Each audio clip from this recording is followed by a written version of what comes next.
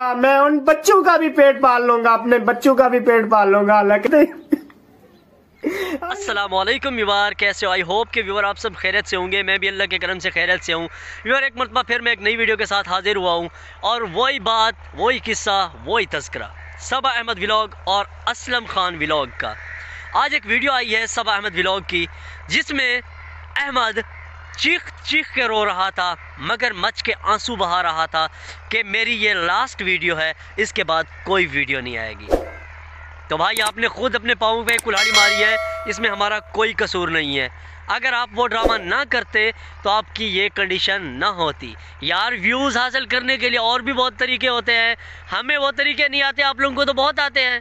तो लड़ाई करने की क्या ज़रूरत थी? वो मसला आप साइड पे बैठ के सॉल्व कर लेते। घर में बैठ के बड़ों को साथ बिठा के मसला हल करा देते। असलम तो नहीं रुकने वाला, वो शादी करेगा, क्योंकि वो खुद रोटी पकाता है, खुद अपने कपड़े धोता है। आप लोगों ने खुद उसको सपोर्ट किया है।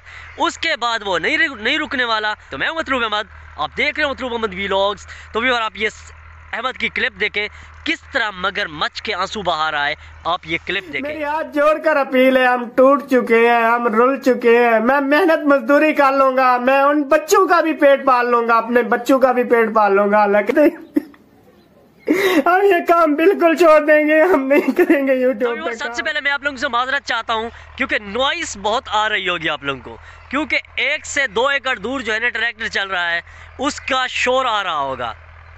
तो मैं बात कर रहा था सबा अहमद व्लॉग की।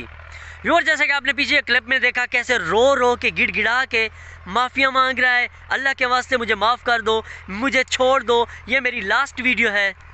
तो भाई आपने खुद अपने पाँव पे कुल्हाड़ी मारी है, इसमें हमारा कोई कसूर नहीं है। ना ही हमने आपको कहा था कि आप अपने भाई से पंगा लो, और ना ही हमने कहा था आप यूट्यूब पे अपने भाई से लड़ो, झगड़ा करो, उसके बाद आके माफ़िया मांगो। ये मसला आप लोग घर में बैठ के भी सॉल्व कर सकते थे। यूट्यूब पे ऐसे मसले लाने के नहीं होते, जो तुम लोगों ने ड्रामा किया है। हमें तमाशा दिखाया आप लोगों ने। अब आपका तमाशा तो ज़रूर बनेगा। पूरी दुनिया आपका तमाशा देख रही है। अब आपका रोने का जवाब नहीं बनता। तो मैं अहमद को एक मशवरा देना चाहता हूँ कि अब रोने धोने से कुछ भी नहीं होगा। अब तीर कमान से निकल चुका है। अगर आपने नेकी करनी है ना अच्छाई करनी है तो असलम के बच्चों को सपोर्ट करो, उनके जूते, कपड़े, खाने का बंदोबस्त करो। अगर अपनी भाभी को सपोर्ट कर सकते हो तो उसका भी सपोर्ट करो। असलम के साथ रहेगी तो अच्छी बात है, घर बसता रहेगा, नहीं रहे रहेगी तो घर टूट जाएगा। व्यूवर अगर सच पूछो ना मुझसे तो मैं असलम की सपोर्ट करूँगा। आप लोग सोच रहे होंगे कि आप असलम की सपोर्ट क्यों करोगे? उसकी दूसरी बीवी तो है तो उसका क्या बनेगा? व्यूवर अब हकीकत को जानो।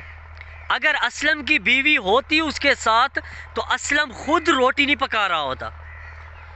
उन, उसके बच्चों की हालत देखो, उसकी अपनी हालत देखो। जब इंसान घर में तंग आ जाता है ना किसी चीज़ से तो वो कुछ ना कुछ वो कदम उठाता है। कुछ, उसने शादी का सोचा। उसके बाद अपने भाइयों को उसने मिठाई खिलाई। मिठाई के बाद अपने भाइयों को दस से बारह हज़ार, पंद्रह हज़ार का एक एक सेल फ़ोन दिया मोबाइल फ़ोन दिया। वो भी एंड्राइड उसके बाद भाइयों ने कहा कि भाई, हम तो यही चाहते हैं कि किसी का घर बस जाए। और ये सबसे ज़्यादा दुआएँ देने वाला यही है अहमद। सबा अहमद व्लॉग वाला भाई। उसके बाद जब वो फुल तैयार हो गया शादी के लिए, निकाह करने के लिए, निकाह कर रहा है कोई, कत्ल नहीं कर रहा, वो जुर्म नहीं कर रहा था। हाँ अगर आप लोग राज़ी नहीं थे तो उस वक्त उसे मिठाई नहीं लेते सेल फ़ोन उसको मोबाइल फ़ोन उसको वापस कर देते। उसके बाद फिर पता चलता कि हाँ आप लोग अपनी भाभी को सपोर्ट कर रहे हो। सबसे पहले दुश्मन तो अपनी भाभी का यही अहमद है। और उसके दूसरे भाई तो और उम्मीद करता हूँ मेरी ये छोटी सी वीडियो आप लोगों को अच्छी लगी होगी। अगर मेरी वीडियो आप लोगों को अच्छी लगे तो प्लीज़ मेरे चैनल को सब्सक्राइब कर देना और घंटी का बटन भी दबा देना क्योंकि नई आने वाली वीडियो आप लोगों तक बार वक्त पहुँचे। तो अब तक गले इतना विवार फिर मिलेंगे अगली वीडियो में। पाकिस्तान जिंदाबाद।